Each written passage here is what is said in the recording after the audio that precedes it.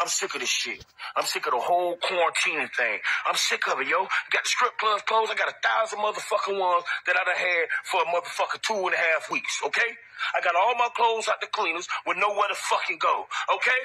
Uh, I got both of my phones fully charged for the first time in my motherfucking life. And then everybody talking about it's just a lockdown. No, that's not a fucking lockdown. That's not a lockdown.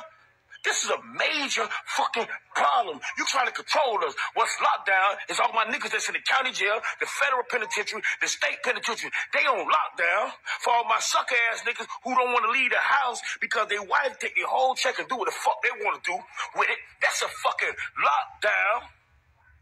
When Gary Payton used to get on one of them niggas on the basketball court and put that D on them, that was a fucking lockdown. San Francisco 49ers been on lockdown since the fourth quarter of the Super Bowl. I don't want to hear that shit. Hey, this message for the motherfucking government, man. Listen, y'all need to make up y'all motherfucking mind about these rules and regulations, man. Cause I just motherfucking love Chick-fil-A myself, personally. And the inside was motherfucking old, but the drive through, when I got there to get my motherfucking order, I peeked through the motherfucking window, personally, myself. Just to make sure everything motherfucking cocoa steady with my motherfucking order. And the motherfuckers employees wasn't six foot apart, the motherfucking Chick-fil-A. No, the motherfucker was on top each other like a motherfucking salmon. Like, yeah. So I'm fine to fuck with Chick-fil-A.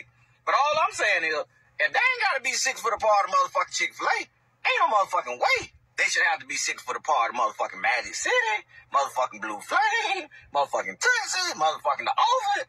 If they can be on top of each other like a motherfucking salmon and Chick-fil-A and y'all cool with it, Y'all should be motherfucking cool with the same thing in these motherfucking strip club. So owe me motherfucking strip clubs over and Chick-fil-A gonna be open. Listen, explain something to me real quick. And I need y'all help on this. Cause I just motherfucking rolled past 2-3 over here in motherfucking Orlando. Listen. Y'all done closed every motherfucking thing. You wanted the clubs to close. You want the motherfucking beaches to close. You want the motherfucking restaurants to close. You wanted every motherfucking thing to close. But one thing y'all ain't motherfucking closed the motherfucking golf course. You why, why you ain't close the motherfucking golf course? I just passed by the motherfucking golf, two, three of them. And it's two, three hundred motherfucking people out there. Why you ain't close the motherfucking golf course? Explain that to us. You close motherfucking top golf. Cause that's for people like me, top motherfucking golf. But the motherfucking golf course that I just seen with two, three hundred motherfucking people out there, there ain't no motherfucking social distancing going on out there. That's a motherfucking social gas. That's a motherfucking block party going on at the motherfucking golf course. Explain to us why y'all ain't motherfucking closed that down.